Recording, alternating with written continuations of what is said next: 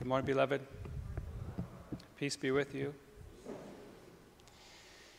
As we continue in our first reading, um, our, the first letter of St. John, we're finishing chapter 1, and um, so he's continuing the, the very similar message, uh, ba- basically about staying in fellowship. Everything is about staying in fellowship with Jesus, with the Father, and with the, the community of believers.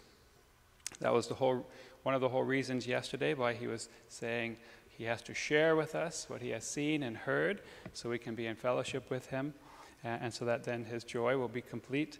And today he's continuing this um, how to stay in, be in fellowship and stay in fellowship.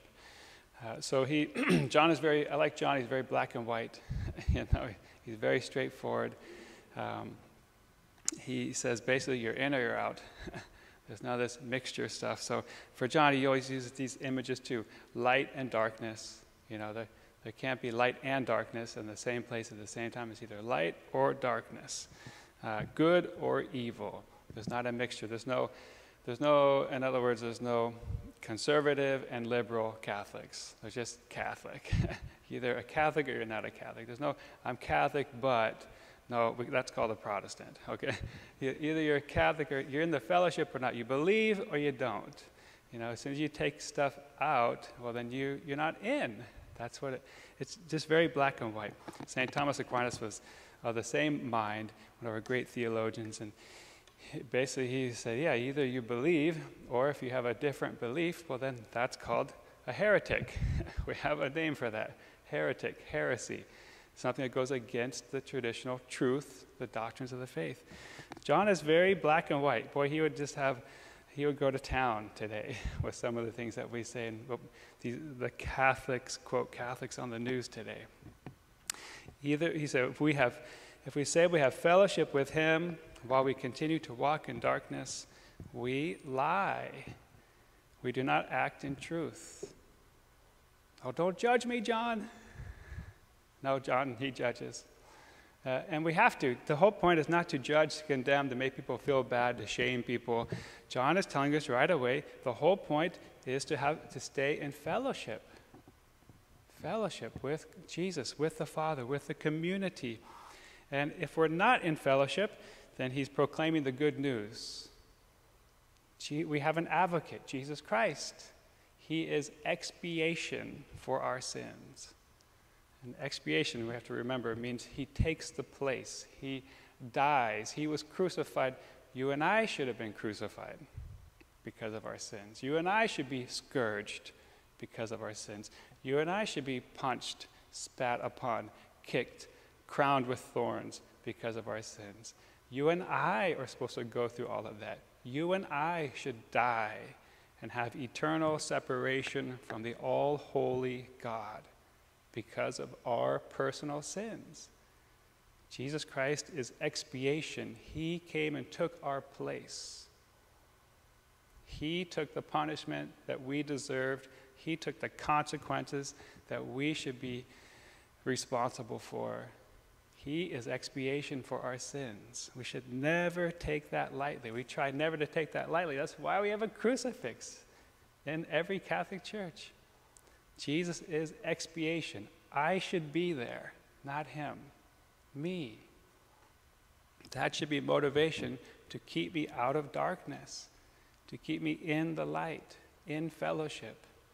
It's not a, is not a politic game. This is, this is no, um, you know, they don't take this stuff lightly. Light, this is eternal life or eternal death. It is a big deal. and so John is proclaiming the good news. If uh, he said, I'm saying all of this, I'm being black and white, I'm being crystal clear, either you're in or you're out, because I don't want you to sin. That's why he said, I'm doing it. Not to make you feel bad, not to shame you, not to guilt you, not because I want to excommunicate you or kick you out. It's because I don't want you to sin. And if you do sin, we have an advocate, and, I, and you, I want you to confess your sin. He said, if we're faithful and if we confess our sins, He is faithful and just and will forgive us our sins and cleanse us from every wrongdoing. This brings us to, con- this is what confession is doing. It's not just saying, oh, I did this sin, and now forgive me, and I'm all good, I can walk out of here. No, like sin wounds us, it does damage to us and to others. And when we go to confession, we're asking not just, oh, just clean my slate, you know, a little etch a sketch, shake it, and now it's all back to, nor- back to, back to normal. It's a, there's a wound. Sin wounds us, sometimes physically, sometimes mentally, emotionally, spiritually. And with every wound, what happens if you get a wound? Well, first thing you do is you pour alcohol on it to cleanse it, clean the wound, get the dirt and the grime out. Otherwise, it will be worse, infected. So, cleansing the wound. That stings a little. Doesn't it sting a little when someone says, hey, that's a sin? Hey, don't do that, that's wrong. Doesn't that sting a little? Hurts. We don't like to be told not to do something. Welcome to cleansing. cleansing. So, first, it has to be become the confession. sometimes, we have, sometimes we have to be told to come, come to confession. And then we get stung as we're getting cleansed. The wounds of our sins begin to get cleansed. But then they have to be healed. The grace from confession begins the healing process. The deeper the wound, the more time and the more grace you need for healing. It's true for all of us. There's not an automatic, all at once healing in confession. For venial sins, yes. For mortal sins, it begins the healing process. There's time, there's things need to take place for more deep healing to happen. And a lot of times, full healing is only proven when once we leave confession and there's a change of action. This is what John is teaching us. our, these are our basics on confession. So it's very important that we are not afraid to call out sin, not to shame or to make people feel bad, because we need them to confess. This is a simple question Do you want to be in, in fellowship or not? You know, because you can't have both. You can't be a Catholic but.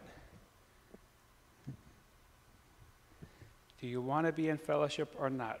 we call out sin because I so we can all repent of it. So we can grow deeper in repentance, deeper in reconciliation with God. it's very important. Um, it just always reminds me too of a, one, one time I was called to jury duty. and when they find out that I'm a, a priest, a clergy, a man of the cloth, as they say, then they usually dismiss me, huh? One side or the other. And one of the first times it happened, he said, Well, I really respect man of the cloth, you know, but I don't want you here. I'm going to dismiss you from the jury because you're, you know, you're too, you're going to be, I already know you're going to be too merciful. There's a place for mercy, but I, I don't want you here doing the mercy. You're going to just let, want this guy to go off, you know. And um, you don't get to talk about it. But my first thought, reaction was, well, yeah, we're merciful as Christians, but you can only extend mercy when somebody has confessed a wrongdoing, when they've admitted they're wrong, they've sinned, that they need mercy. So, yeah, Christianity, the good news is about the mercy of God, but we have, the first step is getting people to admit they need it. That's why I need you to confess, to admit this is wrong. Remember, so Christians, we, that's part of the message. We're saying repent and believe the good news. We're getting people pointing out the sin so they can confess and receive the mercy. The world, the anti-Christ, anti-Christian world, doesn't tell you you're wrong.